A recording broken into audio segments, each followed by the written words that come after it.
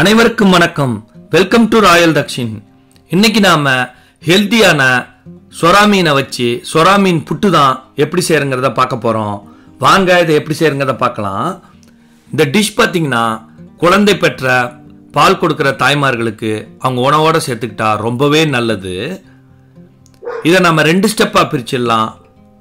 First இந்த சொரா மீனை நம்ம ஆவியில் எப்படி வேக வச்சு எடுக்கணும்னு பார்க்கலாம். சொரா மீனை இந்த மாதிரி சின்ன சின்ன துண்டாக நறுக்கிக்கிட்டு நான் ரெண்டு மூணு தடவை நல்லா கழுவி எடுத்து வச்சுருக்கிறேன். அது கூடவே கல்லுப்பு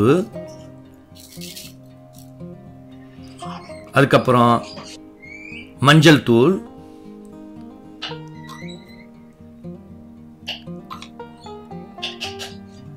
இதை நம்ம சேர்த்து இந்த சொரா மீனை நல்லா டாஸ் பண்ணி குலுக்கி விட்டு ஒரு பத்து நிமிஷம் மேரினேட் பண்ணி வச்சிடலாம். அதுக்கப்புறம் இதை ஒரு இட்லி பானையில் நம்ம ஆவியில் வேக வச்சு எடுத்துக்கணும். நான் இட்லி பானையில் தண்ணி விட்டு கொதிக்க விட்டு வச்சுருக்கிறேன். இந்த ஸ்டேஜில் மஸ்லின் கிளாத்தை நம்ம ஈரமாக்கிடலாம்.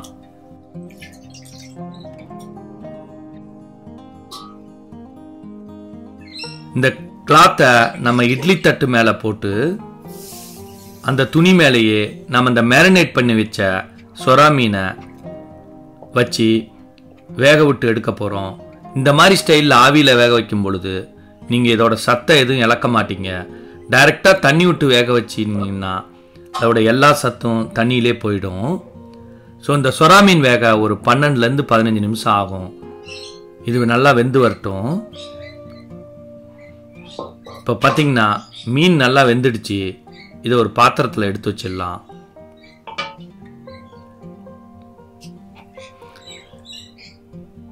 இப்போ இந்த மீன் கொஞ்சம் ஆறினோன்னே கொஞ்சம் கையில் சூடு பொறுக்கிற அளவுக்கு இருக்கும் பொழுது தண்ணியில் தொட்டுக்கிட்டு ஏன்னா தோல் பிசு பிசுன்னு இருக்கும். அதனால் தண்ணியில் தொட்டுக்கிட்டு இந்த தோலையும் அதில் ஏதாவது சின்ன சின்ன எலும்பு இருந்தால் அந்த எலும்பையும் ரிமூவ் பண்ணிவிட்டு நாம் அந்த சொரா மீனோட மீட்டை ஒரு பாத்திரத்தில் கலெக்ட் பண்ணி வச்சுக்கலாம்.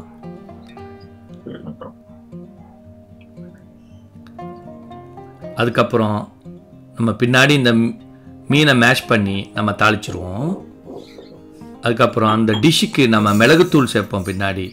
அதனால் இந்த மிளகுத்தூளை ஃப்ரெஷ்ஷாக இடித்து வச்சுக்கலாம். இப்போ மீன் ரெடி ஆயிடுச்சு மிளகுத்தூள் ரெடி ஆயிடுச்சு வாங்க இப்போ எப்படி தாளிக்கிறதுன்னு பார்த்துடலாம் நல்லெண்ணெய் விட்டு சூடாக்குங்க. அதுக்கப்புறம் சோம்பு போட்டு தாளிக்கலாம். அதுக்கப்புறம் பூண்டு பொடியாக நறுக்கி சேர்த்துக்கலாம். இதுக்கு பூண்டு நிறையா சேர்க்கலாம். எவ்வளோ சேர்க்குறோமோ அவ்வளோக்கும் நல்லது. இந்த பூண்டு கொஞ்சம் வதங்கி வந்தோடனே சின்ன வெங்காயம் நான் பொடியாக நறுக்கி சேர்த்துக்கிறேன். அது கூடவே ஒரு துண்டு இஞ்சியை பொடியாக நறுக்கி சேர்த்துக்கலாம். பச்சை மிளகா பொடியாக நறுக்கி அதுக்கப்புறம் பொடியாக நறுக்கின கருவேப்பில்லை எல்லாத்தையும் சேர்த்து நாம் நல்லா வதக்கலாம். இந்த ஸ்டேஜில் இந்த டிஷ்ஷுக்கு தேவையான உப்பை சேர்த்துக்கலாம்.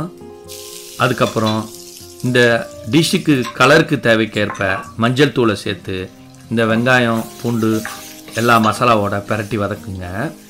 இது ஸ்லோ ஃபயரில் வதங்கி வர சமயத்தில் இந்த சொரா மீனோட மீட்டை நம்ம நல்லா மேஷ் பண்ணி சேர்த்துக்கலாம். புட்டுன்னா ட்ரையாக இருக்கணும். அதனால் நம்ம பொடி மாஸ் மாதிரி இதை நல்லா மேஷ் பண்ணிவிட்டு நாம் இதில் ஆவியில் வேக வச்சதுனால மாய்ச்சர் இருக்கும். அந்த மாய்ச்சர் போகிற அளவுக்கு இந்த மசாலாவில் ஸ்லோ ஃபயரில் நல்லா பெரட்டி ட்ரையாக வர அளவுக்கு நம்ம இதை வதக்கிக்கலாம். இந்த சொராமீன் பார்த்தீங்கன்னா எவ்வளோ வெங்காயம் பூண்டு சேர்க்குறீங்களோ அந்த அளவுக்கு இந்த டிஷ்ஷுக்கு டேஸ்ட்டை கொடுக்கும். இந்த ஸ்டேஜில் இந்த டிஷ்ஷுக்கு தேவையான மிளகுத்தூளை சேர்த்துக்கலாம். உங்களுக்கு காரத்துக்கு ஏற்ப நீங்கள் கூட்டி குறைச்சிக்கிங்க. அதுக்கப்புறம் இது கூடவே பொடியாக நறுக்கின கருவேப்பிலை அதுக்கப்புறம் பொடியாக நறுக்கின கொத்தமல்லி தலை அதுக்கப்புறம் எலுமிச்சம்பழம் சாறு புளிஞ்சி இதை நல்லா பெரட்டி நம்ம ஃபினிஷ் பண்ணி நம்ம இறக்க வேண்டியதுதான். இந்த டிஷ் பார்த்திங்கன்னா சின்னவங்கள்லேருந்து பெரியவங்க வரைக்கும் எல்லாருமே சாப்பிடக்கூடிய ஒரு சூப்பரான டிஷ் இது. சூடான சாதம் அதோட சூடான ரசம் அதோட இந்த சொரா புட்டை வச்சு சாப்பிட்டிங்கன்னா சும்மா சூப்பராக இருக்கும். இதோட டேஸ்ட்டு வேறு லெவலில் இருக்கும். ரொம்பவே கலக்கலாக சூப்பராக இருக்கும். ஸோ இந்த டிஷ்ஷு ஸ்பெஷலாக நர்சிங் மதர்ஸ் கண்டிப்பாக அவங்க உணவோடு எடுத்துக்கணும். இந்த ரெசிபி உங்களுக்கு பிடிச்சிருந்தா லைக் பண்ணி ஷேர் பண்ணுங்க. இந்த டிஷ் உங்களுக்கு பிடிச்சிருந்தா மறக்காத எங்கள் சேனலை சப்ஸ்கிரைப் பண்ணி ரெடியாக இருங்க. மீண்டும் ஒரு சூப்பரான ரெசிபியோட உங்களை நான் சந்திக்கிறேன். நன்றி.